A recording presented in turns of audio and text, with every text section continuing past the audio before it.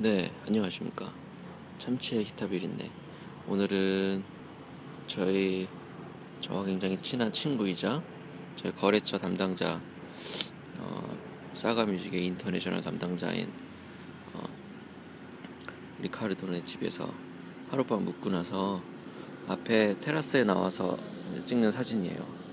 어, 어, 너무너무 예뻐서 한번 찍게 됐습니다. 여기는 샌프란시스코고요.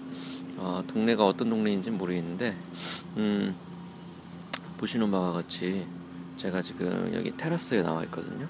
네, 짜잔. 네, 보이시죠? 네, 제가 여기 지금 테라스에 이렇게 나와서 우리나라 말로 하면 베란다라고 할 수 있을까요?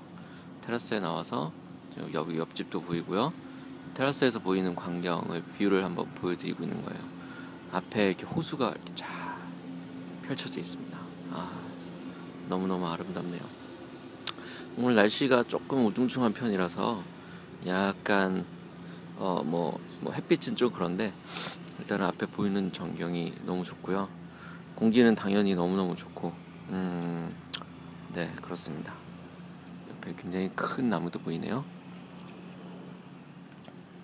어, 이 밑으로는 러닝머신들이 러닝 머신? 러닝 머신들이 러닝할 수 있는 공간이 아, good morning 리카르도가 일어났습니다 러닝할 수 있도록 이 강가를 따라서 러닝할 수 있는 공간들이 되어 있어요 자 리카르도가 일어났으므로 청둥오리도 보이고요 아 청둥오리인지 모르겠는데 아무튼 오리 네.